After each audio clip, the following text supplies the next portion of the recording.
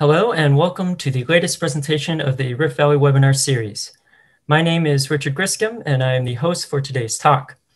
If you're participating in the live webinar, you can submit questions or comments in the chat window of the Zoom application at any time during the presentation, or you can use the raise hand function in the participants window if you would like to contribute a comment or question using your microphone after the presentation has finished. Today's speaker is Hannah Gibson. Hannah is a lecturer at the Department of Language and Linguistics at the University of Essex, and she researches linguistic variation and change with a special focus on the syntax and semantics of Bantu languages in Eastern and Southern Africa. Hannah is a co-investigator of three ongoing and upcoming projects, including a project on um, local language and literacy practices to enhance classroom learning and achievement, variation in Sesotho and Setswana as spoken in the Free State, and dialectology in Bantu languages, variation in Bemba across phonology and morphosyntax. Please join me in welcoming Hannah as she gives her presentation, Beyond Word Order, Rangi and Comparative Perspective. Fantastic. Thanks very much. Thanks for the introduction, Richard. Um, I uh, panicked for a moment, wondering what all of my projects were. Um, but yeah, that's a very nice uh, reminder of other other things that um, some of which are are related, but other things to, to think about as well. Um, so yeah, uh, beyond word order, Rangi in comparative perspective. I'm just going to um, dive right in, um, and I've got a little bit of an introduction. I'm kind of conscious of uh, several of you who are here who've heard me uh, speak in other other places on some of these topics, but I'm going to try and bring all of these things together and then point out some possible future directions as well. So here, just to say that um, Rangi has come to the attention of linguists due to a number of uh, unusual features, um, features that the language has that are kind of unusual or marked either from a comparative perspective or a typological perspective, or actually indeed both. Um, and then most widely noted, but I mean, that's really because that's what I've spent so much of my life thinking about and working on um, is this verb auxiliary order, but I was by no way the, you know, the, the, first person to, to note this. Um, so that's sort of one of the things that um, people kind of know it for. So that's where this idea in the title comes from, beyond word order. Um, and what I want to do today is really kind of highlight, I suppose, that there are some other features that cause the language to stand out or that are also worthy of exploration and examination. And really, for that, I'm bringing, drawing on some previous work that I've done, and, and um, lots of that's collaborative work with other people. But I also kind of want to pose a question, really, which is to what extent these kind of unusual features give us an accurate, so a correct or completely incorrect picture of the language overall. And that's really a kind of methodological question, um, really, or a question in terms of how we approach things. And I, I'm particularly interested in what people in this group think about that, both drawing on people's extensive experience and knowledge of languages of, of the Rift area, but also across um, Bantu languages or comparative work more broadly.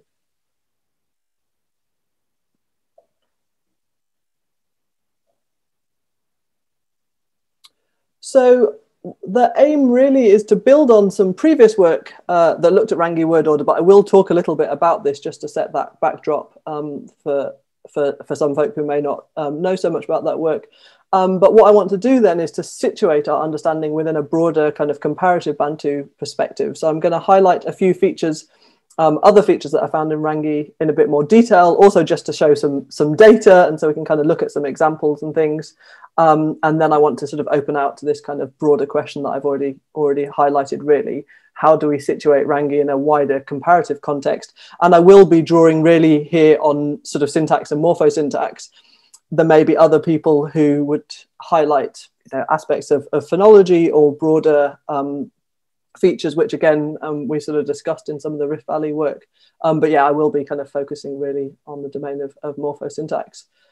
So a little bit of a, a, roadmap. I just want to provide a bit of a background um, on the language, um, highlight some kind of previous work, and then I'm going to talk a little bit about the um, Bantu morphosyntactic variation database and a related project that I've been involved in, and then try and situate Rangi against that backdrop. Um, so this is a kind of comparative uh, perspective, and then it will be a summary, really, rather than conclusions, and then suggestions for future direction, and and yeah, lots more work to be done.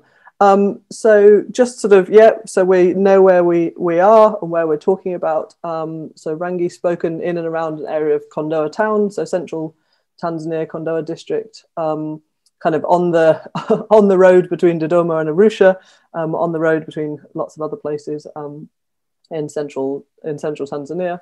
Um, and as we know, and really this series is doing fantastic work to highlight this, um, an area with a sustained history of language contact.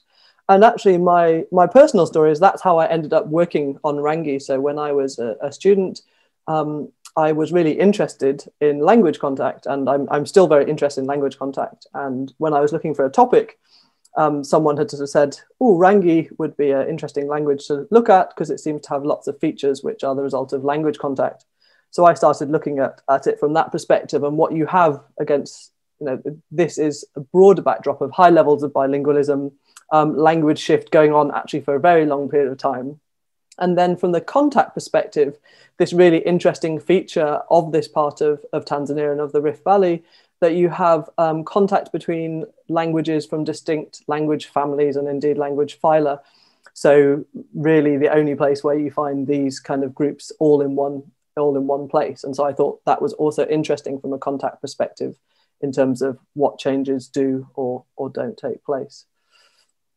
Um, a little a little map just to sort of zoom zoom in on here. So this is from the the Burunge grammar, and this is um, the neighbours of the Burunge. But I mean, in our case or my case, this is also the neighbours of Rangi speakers. So Rangi's in in the middle, um, but then you can just see even impressionistically from this map that you have you know Gorwa, Alagwa, um, Sandawe, Burunge, Mbugwe, Iraqw, Hadza, um, and you know, and there's lots of other languages there that are you know not highlighted. I mean, obviously Swahili is also present, um, and yeah, the kind of language ecology, the linguistic ecology, really, um, yeah, really sort of uh, interesting and diverse. And so Kondoa town is in the middle of that, and then most of my research and data collection was was done in Haubi, which is um, also sort of part of um, one of the dots on the map in the middle of the, the Rangi area. Um, and then as you can see to the right of that, you have kind of Masai. So the other side of the hills goes down to the, the, the, the Masai on the, on the other side. Um, and then kind of Chigogo down into Dodoma. Um, um, in terms of just kind of, I suppose, vital statistics um, for the language, um, so somewhere in the region of 400,000 speakers, um, depending on how and who you count, um, and also when your numbers were from, um, centered around Kondoa district and indeed Kondoa town. And then I haven't worked much on variation, so this is very much what was reported to me, but they have these kind of described two two varieties of rangi if you want a kind of high rangi and a low rangi. Um, and i only say this because i think it's it's funny that this high rangi is spoken in haubi so that's where most of the work that i did um, uh, is sorry that most of the research i did took place there. Um, and what people distinguish between basically is haubi and everywhere else. Um, so that might be kind of considered a, a prestigious variety if you want um, but actually increasing levels of, of mobility and perhaps um, these kind of distinctions may well already be um, out of date. And then Kondoa town, because it's a town, because lots of people will have studied there, traveled there a lot, lived there, um, also very widely kind of understood, or perhaps assuming some kind of standard rangi, if you were if you were thinking that such a thing exists, might be more likely based on the Kondoa variety now um, than than the Haubi variety. Um, so moving sort of more to the structure of the language, I suppose, um, this slide really is to tell you that it does what we would expect of a well-behaved Bantu language, dominant SVO word order with variant word orders available for pragmatic purposes, um, head marking morphology, um, tone, noun classes, agreement everywhere, um, verbal extensions, some of which are valency changing, um, and then also some evidence of lexical borrowing from these neighboring languages um, and some sort of sign, at least in that realm of, of language contact, um, borrowed into the, into the lexicon. Um, so these are examples that if you've heard me talk about before, um, this before, you'll be very familiar with. So really the, the point is that despite being well behaved, despite uh, SVO word order and head initial syntax, um, you end up with these, these verb auxiliary order in certain contexts. And I'm not going to talk about the context in detail here today because I've, I've talked about that in lots of other places, but essentially it's the future tense. Um, it's an immediate future tense, which is the example you have in one, and then a more general future tense, which is what you have in example two. And they're formed with two different auxiliaries. Um, I analyze the auxiliary in one as an immediate future auxiliary, um, and the other one um, conveys this uh, general future. Um, and here, interestingly, you have the verb before the auxiliary. So plant before the inflected auxiliary, open before the inflected auxiliary. The kind of crucial point here, if you're thinking of your standard SVO word order um, type things, is not just that this is the order, um, but that this is the only uh, possible order. So an attempt at having pre-verbal auxiliary placement, an attempt at having the auxiliary before the verb results in an unacceptable, ungrammatical construction. So this would be the cent- this would be the order you would expect in um, in Swahili, for example. It would be the equivalent order you would expect in a language like English, and actually, it's also the order that you find in Rangi in other tense um, aspect combinations and in certain syntactic constructions. So this is a not a kind of pragmatically motivated thing, at least not um, um, not synchronous, um, not not kind of in present day use, um, but this is the structure to form, you know, let's say the general tense and uh, general and immediate future tenses. Um, so um, this is unusual in the context of East African Bantu. So as I said, you know, Swahili, but other Bantu languages where auxiliary verb order predominates. Um, but it's also unusual from a typological perspective. So SVO languages the world over are expected to exhibit this preverbal auxiliary um, placement, and this is kind of noted as you know by Greenberg and, and, others as well. So that was again my sort of starting point. What's going on there? Maybe this is something to do with language contact. Um, and um, we actually know that Rangi is not alone amongst Bantu languages exhibiting this order. Um, and there are at least five other languages um, that have this order as a regular part of their tense aspect system, right? So again, it's not, okay, some flexibility of word order, or you can do this but this is also how you form you know a variety of, of tenses in other in other languages um, as well. Um, I'm not going to go into the details and the data from the other languages. And I know one of the the reading group sessions we had we actually looked at a, a paper I've worked on where highlighted it in six languages. Um, and so here actually Rangi is in in the purple so it's sort of central Tanzania. Um, and then in Mbugwe that's the next one up. Um, so spoken in a non-contiguous um, area, but still in the same kind of area of Tanzania. And then you have these other four languages where you also find this verb auxiliary order um, up more sort of on the Kenya Tanzania border, up near Lake Victoria, um, the kind of Mara, Mara region. Um, and so, what I did in previous work is, although I was interested in it from a contact um, perspective, I've spent many years uh, deciding that it wasn't the result of language contact, but that you could account for it on the basis of a language internal process of, of change, grammaticalization. Um, and again, I'm only going to kind of gloss over the, the details here, and you, you can, uh, you know, some of you here today have discussed this um, earlier on in the year or have read, read the paper, um, but I sort of propose these stages of, of change for this word order how you end up with verb auxiliary being the kind of standard now present day um, future tense construction um, from uh, auxiliary verb order in the past. Having said that, all taking place against the backdrop of high levels of multilingualism and language contact that we know characterize um, characterize this area and characterize the area in which Rangi is spoken. So my starting point was this unusual feature. Um, so this is my, my word order. Um, and then identification of this um, in a wider number of languages. Um, so actually from the outset when I started work on Rangi, I, I knew that this had been noted but in the work by Martin on, on Mbugwe. Um, and actually the other four languages I identified sort of by, by chance. So I was reading a dissertation, fantastic dissertation by um, Johnny Walker, who'd done some work on these Mara languages and then kept on kind of mentioning other languages and it, the net kept on getting wider and wider. So, an interesting thing for our purposes, perhaps, is that these are all spoken in areas of sustained language contact, but with different contact languages and different language families, so Nilotic as well as Cushitic. Um, and it's not the suggestion that there was a single, you know, contact language. Um, so yeah, that was the sort of that was the story that I I spun in a kind of um, abridged version there.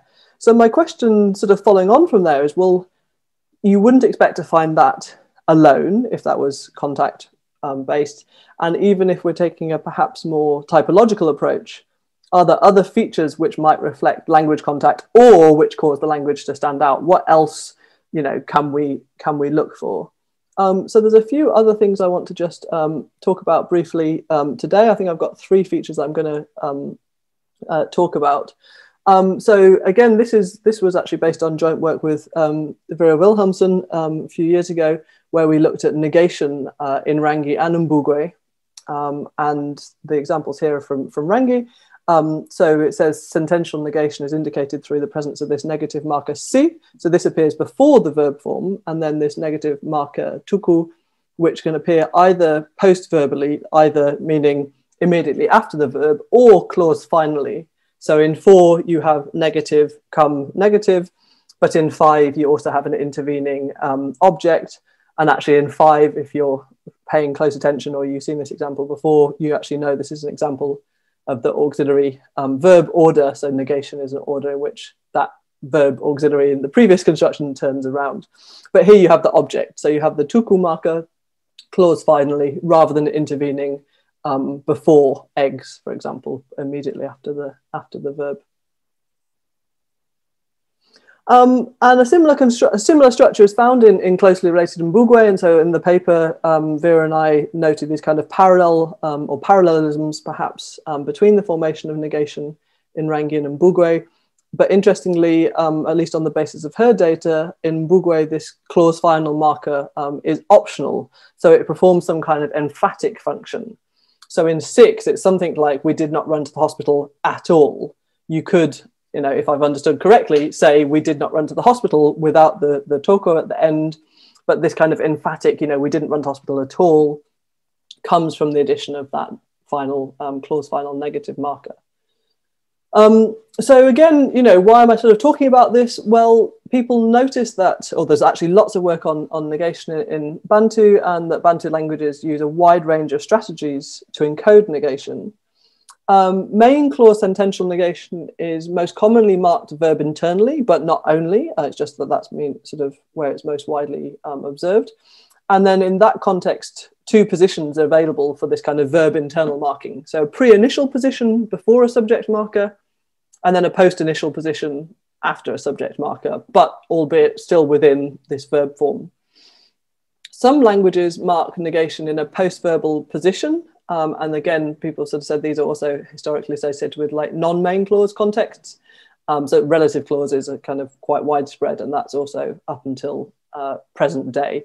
So again, there's been quite a lot of work on non-main negation in non-main clauses and what this what this looks like. So what we have in Rangi though is this sort of two, you know, bipartite um, negation construction um, and so the analysis that we forward is that this negative marker si is a reflex of a Proto-Bantu pre-initial negative marker. Fine, so that's kind of reconstructed.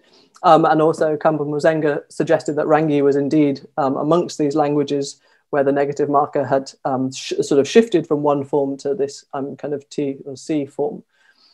Um, so that's the one, that's the pre-negative, uh, sorry, pre-verbal negative marker. Um, and post-verbal negation is found in several Bantu languages, including several Bantu languages from East Africa. So it's not remarkable in that respect. Um, but again, with, with Vera, what we propose is that the actual form of this post-verbal negative marker tuku um, is innovative and it has its origins in Cushitic. Um, and here we draw obviously on work from, from others uh, on both Alagwa and Burunge where these are contact languages from Rangi, where there are these modifiers um, that express something like all or whole or kind of totality, particularly of an action or completeness of an action. Um, and so, sorry, that should say lexical borrowing. So the proposal is that tuku or toko are instances of lexical borrowing from these Cushitic languages, um, and that that is indeed an instance of language contact. Um, and that, you know, again, the sort of more details on, on that if you're particularly interested in our argument there. Um, so what we would sort of say is that The marker was used originally to convey emphasis, so this reflects a kind of widespread grammaticalization path um, in the Jespersen cycle, and that's still what you see in Mbugwe. So you remember that example of we did not run to the hospital at all. You still have this emphatic marker, um, but in Rangi it grammaticalized to be now just a standard bipartite negation structure. Omitting tuku in Rangi renders the sentence ill-formed in a standard um, main cause negative construction. Um, so again, thinking slightly more about the socio-historical context, the process may have been aided by first language Alagwa or Burunge speakers using Rangi, and there is kind of relatively high levels of, of fluency in, in Rangi or high levels of contact perhaps between these communities. Um, and then also perhaps facilitated by the acceptance and the widespread presence of post-verbal negation strategies across East African Bantu. So it wouldn't have seemed like a very sort of unusual or striking feature. Um, and you know, it's always uh, difficult to identify the kind of direction, but also I suppose Rangi speakers with some knowledge of Alagwa or Burunge could have also borrowed the lexical item for emphatic purposes. You don't need to know much of a language to take something like at all or com- you know completeness marker or something and bring that into the language and then again being involved in that in that Jespersen cycle, um, that kind of grammaticalization process. So kind of building, you know, what the story I'm trying to build here is that we're looking at individual features. The first sort of early work that I did was on this this word order in particular, and then sort of looking at negation and saying, well, there's something a bit odd there. You know, this two-part, this bipartite negation strategy seems to be a little bit odd, a little bit different. You know, is that something to do with language contact? And actually, we argue, you know, both with Vera and then also work more recently with, with Lutz Marten that yes, that is contact, but that is contact of form, right? So that is contact lexical borrowing rather than, for example, um, borrowing of a, of a structure, um, essentially because you don't need to borrow the structure necessarily. Um, widespread use of that kind of construction from a, from a typological perspective. So I have two more examples of, of kind of mini case studies, if you want, that I want to talk about in terms of these kind of striking, unusual features. Um, and again, I think I've you know talked about these in, in different forums before. So Rangi exhibits an inclusive, exclusive distinction in first person plural possessive pronouns. Um, so sorry, the alignment's a little bit out like out there, but the example should show you the difference between uh, seven and eight. Today I angered our grandfather. The one in seven, I'm talking to you, and I mean our grandfather, but it's not your grandfather as, as well, right? So it's me and my um, cousins and siblings, I suppose, grandfather, but not you, the person I'm talking to. Um, in contrast, in eight, um, you know, I think I've just come back from Kondoa where I went to a, a funeral the death of our relative in Kondoa, you that I'm talking to is included. So this is the inclusive form. And as you can see, this has a different form. So it's we two and we sui. So our including you um, as the as the interlocutor, as the as the hearer, essentially. So this again is one of those features that struck me as unusual as someone who'd, for example, studied Swahili, looked at other Bantu languages. This was not something I'd seen um, more widely. Um, in terms of the kind of morphosyntax, clusivity is not marked on the verb or in absolute personal pronouns. So it is just this first person plural possessive pronoun form that does this. There's not a different verb form, and there is not a different word for we. So there's not an inclusive we and an exclusive we, like you have in some languages with a clusivity distinction as I said, clusivity distinction not attested um, widely in, in, well, in neighboring Bantu languages that I've come across, uh, and indeed not in Bantu languages more widely. Uh, it's not very common uh, um, at all, it seems. Um, although, interestingly, there was some reconstruction um, uh, for kind of Proto-Bantu, which suggested that there is actually a complexity of first-person plural forms. So, you know, not a distinction, but maybe multiple, multiple forms. So again, as someone who is looking at kind of uh, contact and or trying to find and trying to look at contact, I was wondering, is this a contact feature? Um, and I think again, the kind of conclusion here is that actually it's also not found in any of the neighboring non-Bantu languages. And again, there may well be people here who have um, examples or know non-Bantu languages in the area that do mark that distinction. If so, that would be fantastic to hear about it because it would add to the picture. Um, but I suppose this shows you a kind of third option, which is actually just an independent innovation. So this is some innovation um, in Rangi, perhaps a, a hangover um, from this kind of complexity of first person plural forms that were reconstructed for Proto Bantu, but perhaps also just uh, an innovation, um, which again, typologically, cross linguistically, inclusivity, not that unusual, but quite unusual um, from a kind of regional and uh, genealogical perspective. Um, and then the, the final um, case study, the final mini example I have um, here is from work with um, joint work with Aisha Balkhadi, and we've been looking at deixis or the marking of deictic particles, the marking of deixis in Rangi, um, and there's these three deictic particles. and so the you have something like nine and 10, I'm going to the river, and then you can put this tour here, which is like, I'm going to the river to wash there. So you're going somewhere else, and the action of washing is taking place at a different location. Um, the same in 10, tomorrow I'll go and collect the millet, but not just collect the millet, but collect the millet there at this other place. So this kind of tour um, deictic, you know, at a location away from the deictic center. Um, so that's the that's the analysis we have there. Um, so that's the story that, that Aisha and I have, have put on that. Um, the examples again have been noted before. So Oliver Stegen also noted these, these forms.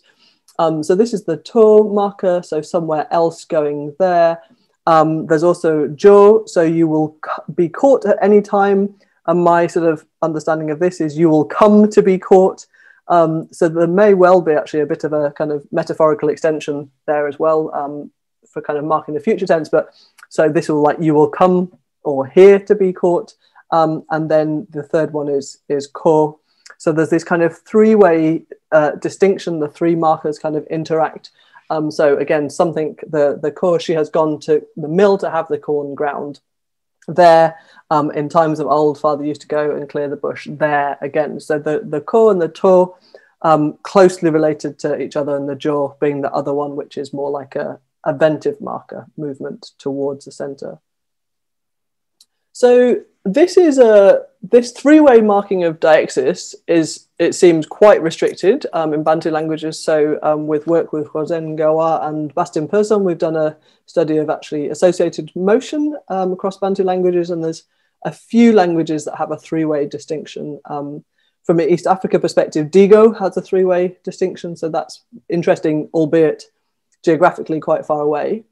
Um, so although the system is quite unusual, we actually argue that you can make an account of each of the markers independently following quite widely established cross-linguistic pathways of change. So core somehow related to the, the ka narrative or consecutive marker um, seen in lots of languages. Um, jo coming from the verb to come, again, widespread cross-linguistic um, grammaticalization pathway for a ventive marker. Um, and I think also Vera noted a, a ventive construction, perhaps with ja um, in Mbugwe, um, and then to suggested that is grammaticalized from the verb ita, which is go. So individually, you can make a story that these all work in expected ways, perhaps, um, but together they form this pattern, which is quite um, quite unusual. Or the kind of three-way distinction is unusual.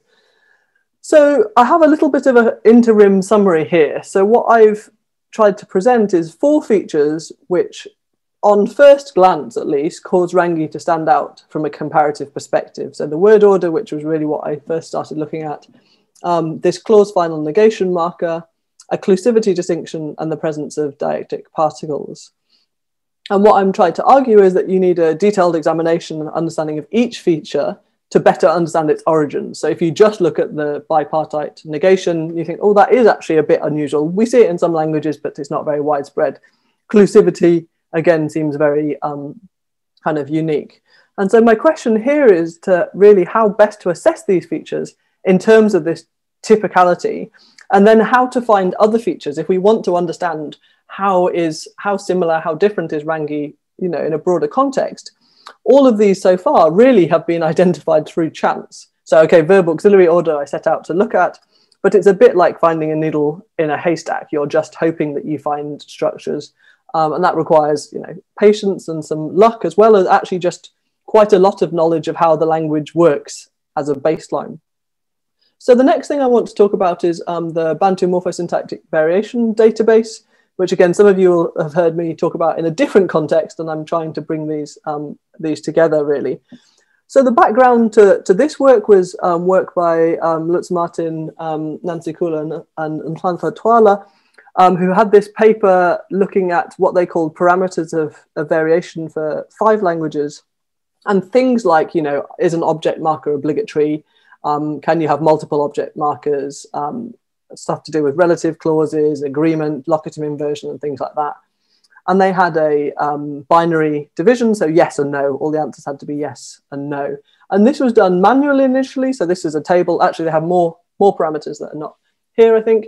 Um, uh, have a do it manually, have it on a you know a table, and then you can look at um, similarities and, and, differences. So they can look at shared percentage values between these languages based on, yes, 15 parameters and some of their subparameters. And so this reads like a uh, one of those distance maps when you're in the car and you're working out how far it is between two towns. So how far is it between Chewa and Swahili? How far is it between Bemba and Herero? And so on and so on. You can see the percentages. And what they then did with just these five languages is uh, mapped it onto, um, oops, sorry, mapped it, got my circles, mapped it um, onto the geographic space in which you find these languages, right? So looking at shared similarities between um, Swahili and Chewa, you won't necessarily be able to see the, the figures here, but what languages group most closely together? And there were higher percentages, for example, between Swahili and Bemba and Chewa than were, there were between Herero and Siswati, which is only 40, for example. And then try and put a kind of historical, socio-historical context and explanation um, alongside that to make sense of these, these similarities. Um, so what happened after that? Um, um, and I suppose, well, just sort of say why you might want to do this. So studying things in slightly more systematic way, um, they argue helps you to better understand underlying reasons for variation and similarity. So is it to do with genetic relatedness? Is it to do with borrowing, which is some of the things I looked at for Rangi? Um, areal diffusion, um, to what extent is variation constrained by universal constraints? And of course, just, just chance as well. So sort of better understanding really um, of, of human language and, and why things change in the way they do. So the, the next sort of step after that um, was this uh, project, which many of you heard about, morphosyntactic variation in Bantu typology, contact and change, which ran for, for four years. And one of the outcomes of this was a database um, and a set of uh, parameters. So what we did was developed 142 descriptive parameters, each with possible values. These weren't binary, so some of them were binary, but some of them have seven possible values the aim was to get a sample um, of two to three languages per, um, per zone, the Bantu zones, um, and then put these into a database which was built for these purposes. And then you can create reports and, and maps and things like that, and the parameters are available um, online. And we now actually have a DOI and things as, as well. Um, the parameters, I, I, won't at all really talk in detail about what the parameters were, but they fall into these kind of subgroups. So they are things to do with nouns and verbs and uh, syntax and word order and focus and things like that. Um, and we broadly thought that about 80% of them, or 80 of them, sorry, related to nominal and verbal morphosyntax. And then slightly fewer looked at kind of broader clausal topics and clausal morphosyntax. Um, we've actually for a few years now had workshops in, in various places. So this was a workshop looking at the parameters with colleagues at the University of Dar es Salaam. Um, so this was yeah working through the parameters, different data from different languages, um, what what works, trying to understand how the questions are applied. Um, and yeah, this is another friendly uh, photo of, of, of, some of us. Um, and so what I want to do now, and this is really I don't have conclusions. So this is the kind of final bit, and I want to really open the kind of open the discussion. Really is take that and then do that um, for Rangi. So in the database at the moment, we have data for about 40 languages with what we have decided is a cutoff for good coverage. So that's 80% of the data points or above. So for 142 parameters, we have information for 80% of those and there's actually lots of data on many more languages, but then like one parameter or five parameters. So I haven't included those um, for today's purposes. Um, preliminary results, as you might ex expect, suggest that some features are clustered geographically, um, but others, others are not. Um, and I have done a few things. So um, this is just a screenshot of, of the database um, and you can go in and you can do sets and you can uh, produce reports and you can have groups of languages and groups of parameters. Um, the next few, they're quite small, so you might not really be able to see what, what the information is, but this is again now using the database function. This is like that roadmap that we had with, with the five languages from the 2007 study. So this is percentage similarity, percentage distance um, between um, various languages. This is a set of 19 East African languages. So we can make a subset of the languages in that group. And then I have used that um, to try and provide some questions for um, today. So this is what I've called an East African languages um, set. So there's broadly, it's just languages that happen to be in the database, which are broadly spoken in Tanzania, Kenya, Uganda, and actually there's a couple in, in Mozambique as well. And that's quite interesting from a kind of comparative perspective. Again, we haven't got any languages here that have coverage of lower than 80% of the data points. So as you can see, we, well, yeah, here we have 100% of data for Gikuyu, um, for Swahili and for Chindamba, and then we have kind of lower numbers, but pretty good coverage for the others. Um, there's some percentages you can do, so you can get this kind of weighted average. So like how similar are they? And we can talk about that in the discussion section about really what that um, what that means. But of this East African languages group, it, in a way, it doesn't matter what the numbers are, but you can see here that the kind of they're all all broadly similar. So these are all in the sort of um, 50s and, and 60s, and I'll talk about that um, in a second. So what I did is I put these languages on the um, on the sort of actually this is now just an Excel sheet, but it's it's generated the same thing, this distance map, um, and I've highlighted um, percentage similarities for for Rangi, and then looked at how that is similar and different for other languages um, in this East African set as well. So again, I don't expect you to be able to see see or make sense of the numbers, um, but what I just pulled out are some things that I thought were interesting and perhaps unexpected. So the highest shared percentages, this is now Rangi, so back to kind of what I was talking about at the beginning, is with Chindamba, um, and then Yao and Mbugwe, Mbugu, um, sorry, Mbugu, not Mbugwe, um, both have 64%, um, and then Swahili and Nyoro, 62%. Other languages in this East Africa group have lower than 60% similarity, so there was like 57 and 58, and I haven't um, pulled that um, out necessarily. Um, lowest shared similarity was with Chwabo, which was 49%, and that's spoken in Mozambique. So, again, geographically quite far away and probably expected. And the highest percentage similarity overall for East Africa as a whole, and East Africa includes these Mozambican languages, is between Chwabo and Sena, which was 80%. So, again, just to show you that actually the range there is only between, you know, it's not actually a huge huge sort of um, area of, uh, well, it's not a huge range essentially. Um, so as I say, that's more sort of you know questions really rather than than conclusions. But what I tried to to do is provide some kind of so I had these kind of four case studies of some features of Rangi morphosyntax at the beginning, which I've I and with other people have examined in quite a lot of detail and tried to make sense of, all of which to some extent cause the language to kind of stand out and then argued that you need a closer examination to better understand the structures and the origins. Then, you know, very briefly talked about the, the Bantu morphosyntactic database and the kind of patterns that you might be able to identify using this approach. And first impressions, if you think that 65% suggest that it's quite similar, imply that these languages are quite similar, imply actually that Rangi is quite similar to those other languages found in East Africa. And then really the question is, what does that actually mean? Um, and then, you know, sort of conclusions, but these are conclusions then more about the methodology than the results.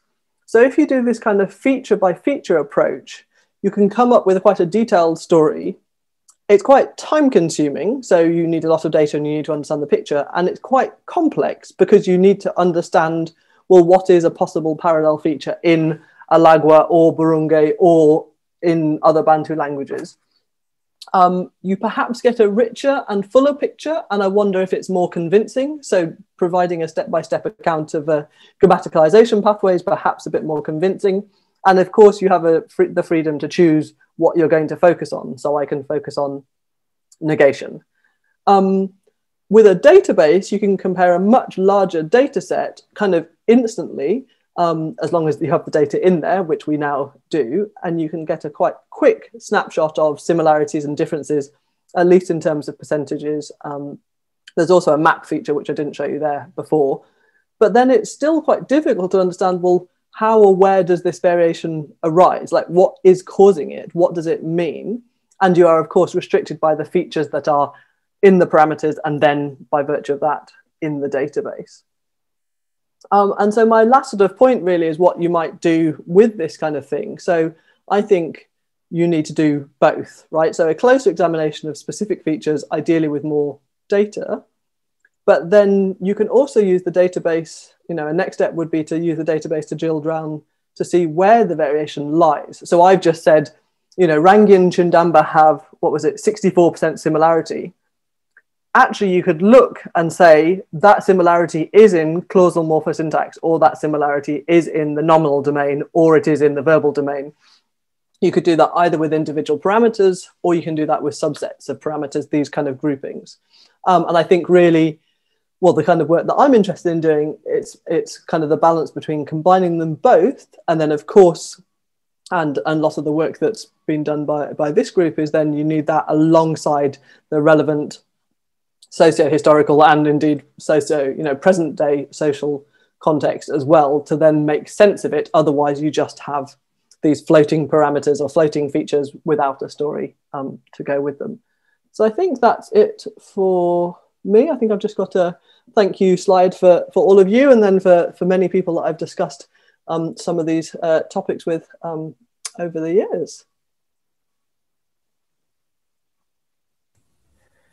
Great. Thank you very much, Hannah, for your presentation. Uh, I think we can now begin the question and answer section. If anyone would like to ask a question or offer a comment, you can do so using the Zoom chat window or by using the raise hand function in the participants window. I will go ahead and start with my own question to give other participants some time to write or formulate their comment or question. So first, I have a couple of comments. Uh, one is that Hadza, which is a language isolate spoken somewhat close by in Tanzania, uh, does have clusivity in the pronouns, uh, not just the possessive pronouns, but uh, all of the pronouns. Um, the only other interesting thing I noticed, uh, similar to another language I've worked on, is uh, the Jo and To uh, deictic constructions. Just reminded me a lot of ventive and itive constructions in Nilotic, but wouldn't necessarily propose that that was due to contact, but just uh, an interesting parallel. Fantastic, thanks. Particularly the Hadza stuff I didn't know, so that's really helpful. Or if yeah. I did know, I've I've forgotten it. So I can add that there is clusivity in the region. Um, whether that changes, you know, the analysis or not, I don't know. But that's yeah, that's really helpful. Um, and then Nilotic, yeah, certainly, um, both. Um, I think that's yeah, quite widely kind of uh, noted. Yeah, well, I will go ahead and let Martin ask a question. So hold on. There, Martin, you should be able to unmute yourself. Yes, I have, I think, unmuted myself and maybe also unveiled myself, but then I have to turn my face. uh, thank you, Anna. Very inspiring uh, presentation. And of course, I have many, uh, many points I would like to raise, but maybe start with the last one with the comparison um, in the database. Uh, I, I, see the the biggest uh, potential in the, in those databases is to see to check whether you get re uh, recurrent um, uh, related uh, changes variation. Um, that, that that if you have this kind of change, what we were looking for maybe a long time ago with the with the Greenberg typology projects, like if you do this, then uh, implicational kind of uh, related uh, parameters.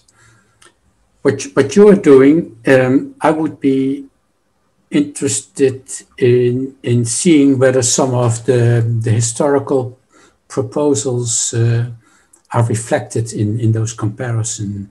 So Rangi is uh, in the F30 group, but I mean, uh, Nurse and Philippson have, have hinted several times that it, it is quite deviant there, and it seems to have links with Chaga and possibly Pare. So that, that, that to me would be interesting to, to see what, what you can find um, between those. And, and you're looking uh, primarily at, uh, at morphosyntactic uh, features, of course, because those are in the database. But for this contact, contact would yeah nearly always change, uh, became start in the lexicon. So it would be really nice to to be able to link these things with kind of lexical links. And for the lexical links, mm, I, I would be very interested in Bondé because because there we know that there is the, the caravan trade from uh, Swahili called Wabondé in Rangi. So we, we, it would be nice to see a sort of link there. I was looking at a word for tobacco uh, recently, and there I noticed that Rangi stands out in the region, that it has the word uh, Itombetu, whereas all the languages in that area have a final E, except maybe Sandawe. Um, and, so uh, that could be uh, a link with the Ceuta area where Bondé is. So I, I, I would be uh, uh, interested in in yeah seeing what is going on where you where you for either reasons where you know that there are already ideas of of uh, linguistic contact or where you know that there are ideas of uh, of historical context to to look at those.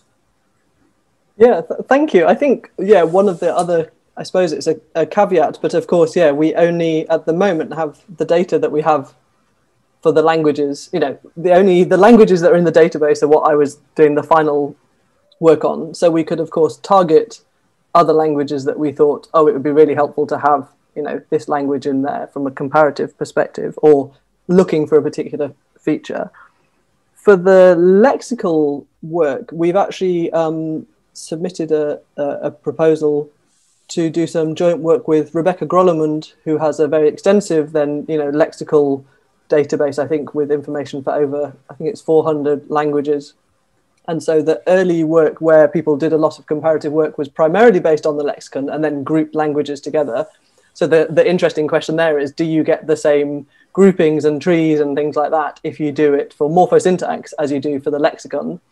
And and what does that tell us? So if they're the same that tells us one thing. If they're different you know is it to do with uh, ways in which languages are yeah transmitted and and learnt impact on on contact and things like that? So i think the lexical work is a like the comparison really between the, or the combination of the lexical and the morphosyntax would be really uh, interesting so hopefully in a few years' time, we'll be able to answer those questions as well.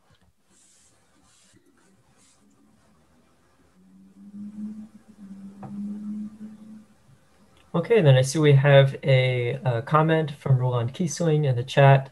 Uh, he says, thanks a lot, Hannah. An observation, the category of directional markers, Joe and Co. reminds me of the associated locomotion category in Datoga. Uh, so this is similar to my comment earlier, uh, where you get a contrast of uh, verb odd to verb while moving thither or moving to move thither uh, versus verb on to verb while moving hither or and move hither. But in Datoga, there's no indication as to the lexical source of the marker in contrast to your findings for Rangi.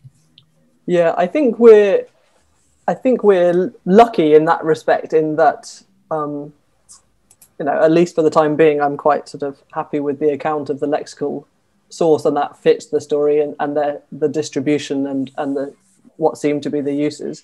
Um, the actual use of associated, you know, locomotion, associated motion, directionals, that to me still seems to be quite marked or quite unusual. So I think I said like Digo has a three-way distinction. Um, there might be another language, but we found so lots of Bantu languages just have like the ka um, so go and, or go and then, or verb and. Some have the ventive, so the come and, but this kind of three forms um, seems to be sort of. So it's, it, again, it's that is the the forms we can make a story for and the lexical origins, but that overall picture then is still one that seems to be um, kind of un, unusual. Um, I don't know actually in, in Mbugwe if we have.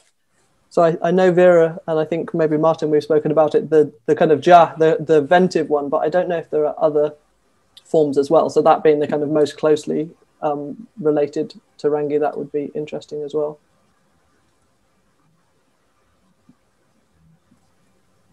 Then also a comment from Lizzie Poole. Uh, she said that she'd been wondering what the E2 Isui difference was for a while, so thank you for solving that. That, that's great. I, I assume that Lizzie is talking about in. Oh, well, yeah, I get. In Rangi, is it, Lizzie? um, because, yeah, that was. I had a very clear, you know, speaker very clearly describing that difference to me, but I it seemed to me very strange that it had, you know, it, I hadn't got a story of where it had come from. Um, yes. Yeah. Um, so people were exactly trying to explain to me this this story of like, no, no, no, it would be, you know, we it would be ours but not yours. And of course, translating that into Swahili, you have to do the same as you do in English, right? Like mine but not yours. It's it's sort of um, so so yeah. I thought I've had that explained quite quite clearly, I think. But yeah, um, be interesting if there's other data out there as well. Now, I'll follow up with a question of my own. Um, I'm curious as to whether or not you were surprised to see the percentages that you guys got. Um, because uh, there's oftentimes this idea that Bantu is fairly homogenous. So you might expect to see uh, most of the percentages in the 90s, for example. But what you found was actually strikingly different. There was uh, a range of different percentages. Was that what you expected? Uh, it wasn't what I expected, but then it's a really good question because I also don't really know what it means, right? So to have numbers in the 60s and some as low as, you know, of course, the, the parameters that we came up with are parameters of Bantu morphosyntactic variation, right? So they are questions that we were asking that were already based on things that we know about for the most part, right? So we knew to ask about object marking, you know, variation in object markers and things like that. So I think there's a slight risk there um, that we asked about things that we know about. Um, if you compare that to some of the numbers or percentages you would get if we went to like the northeast, uh, sorry, the northwest, then you would see it's very different. So those are much less similar. But yeah, in a way, you might have expected them to be up there in the, as you say, you know, 80s and, and 90s. Um, and it would be good to then look much more closely at where that variation comes from. So yeah, the parameters are primarily morphosyntactic, but there is like there's a couple that are lexical just because they, you know, every now and then you need a you need a break or a question that you can just say yes or no to. Um, I I think I I don't have an explanation as to why Rangi and Chindamba are the similar ones. So I perhaps would have expected lots of languages to be similar and then i don't know swahili to be different or something. You need to kind of go the next step which is like well how do i explain that? And i haven't quite worked that out. Um, it doesn't seem to be obviously like you know areal at least on these languages. And of course there are gaps right? So i haven't got all of the languages that then are in the intervening physical space as well right? All of the languages that would take you to get to Chwabo or Sena or whatever. So that would be um, needed for a real kind of robust um, explanation, I think. Great, thanks. Very interesting. Uh, I think we'll move on to Lizzie Poole, who has raised her hand. So, Lizzie, you're welcome to ask your question now.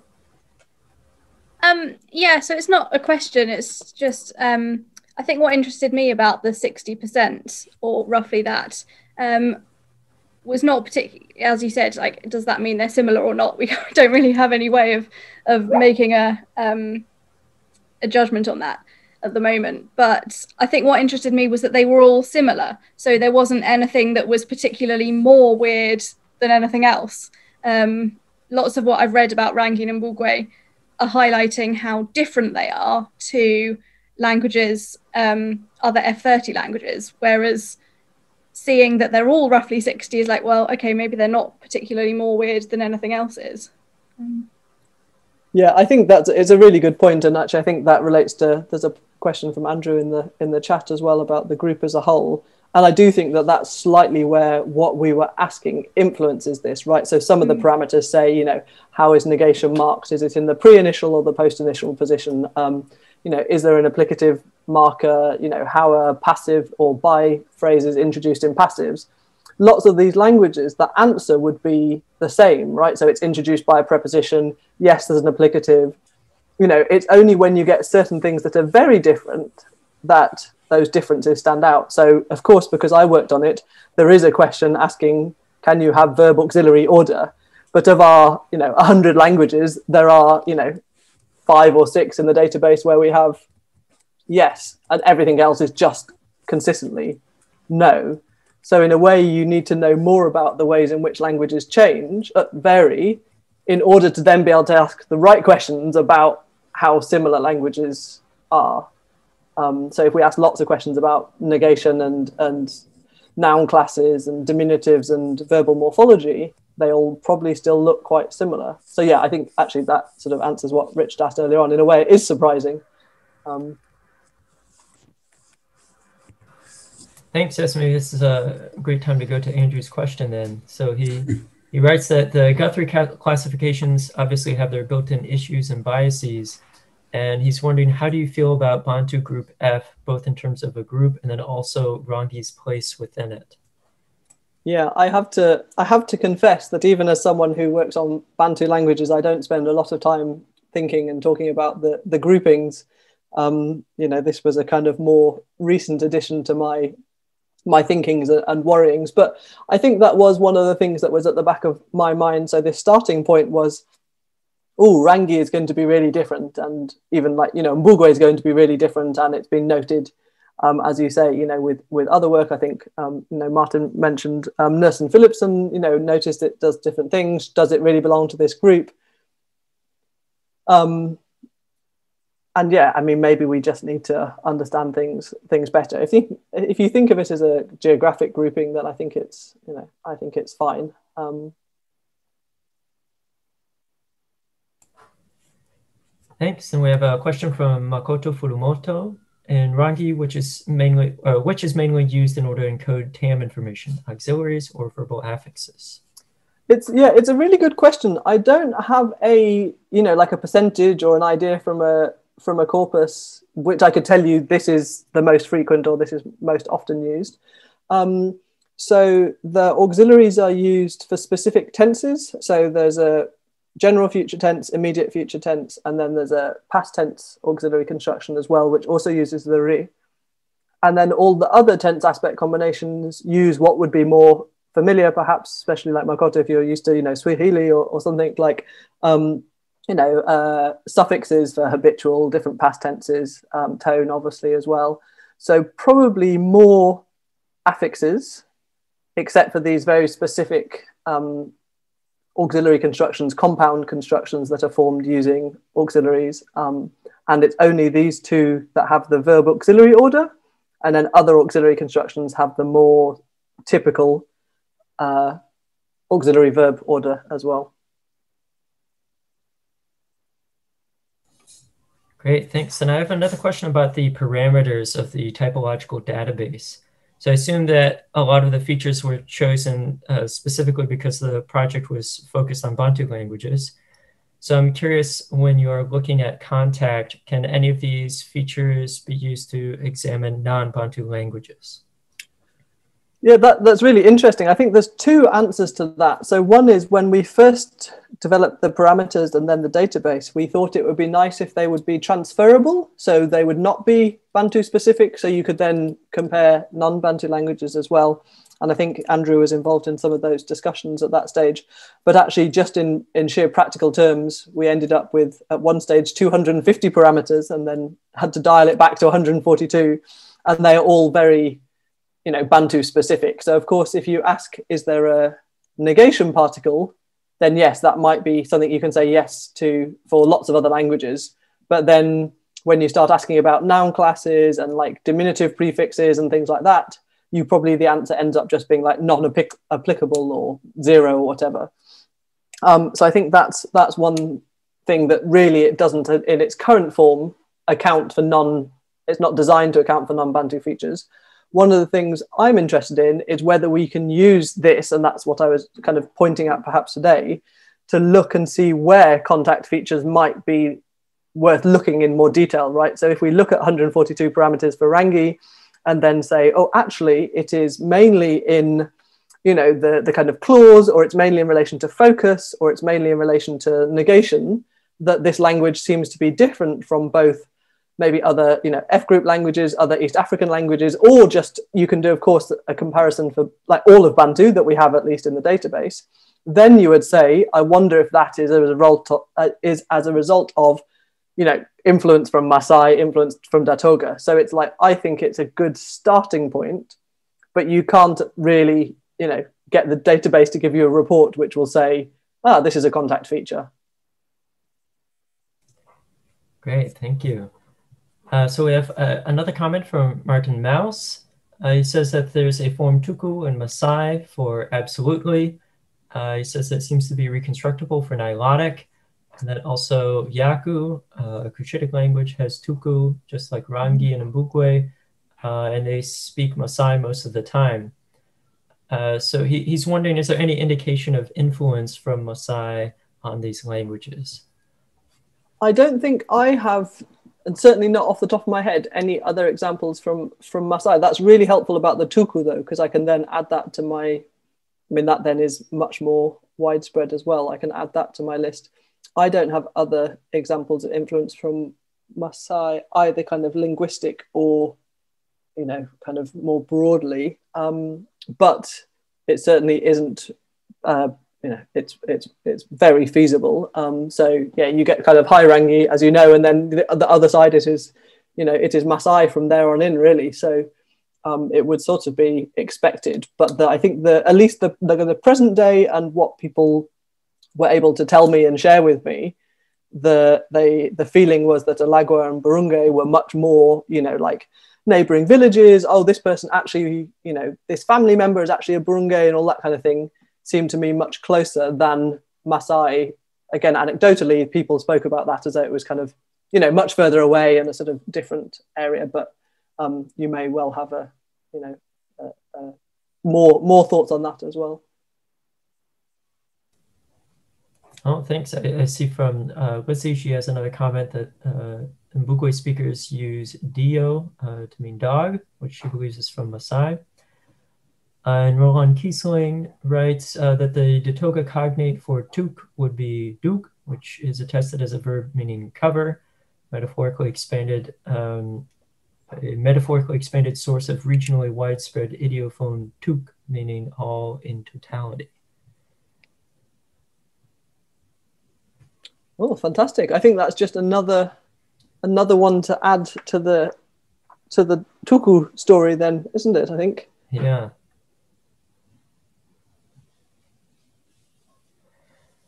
Well, I think uh, now that we're at the top of the hour, this is uh, probably all the time that we have for questions and answers today. Uh, but I'd like to thank everyone for participating. Uh, after this, we're going to start the Wikipedia Editathon for November. Before that, though, first I'd like to tell you about the next presentation in the webinar series, which will be given on Wednesday, November 18th by Festo Masani. This talk will explore riddles in the South Cushitic language Gorwa, and it will be given in Swahili. Uh, so again, I'd like to thank everyone for participating today and Hannah for giving her wonderful presentation. And I hope to see you again at our next webinar. Thanks, everyone.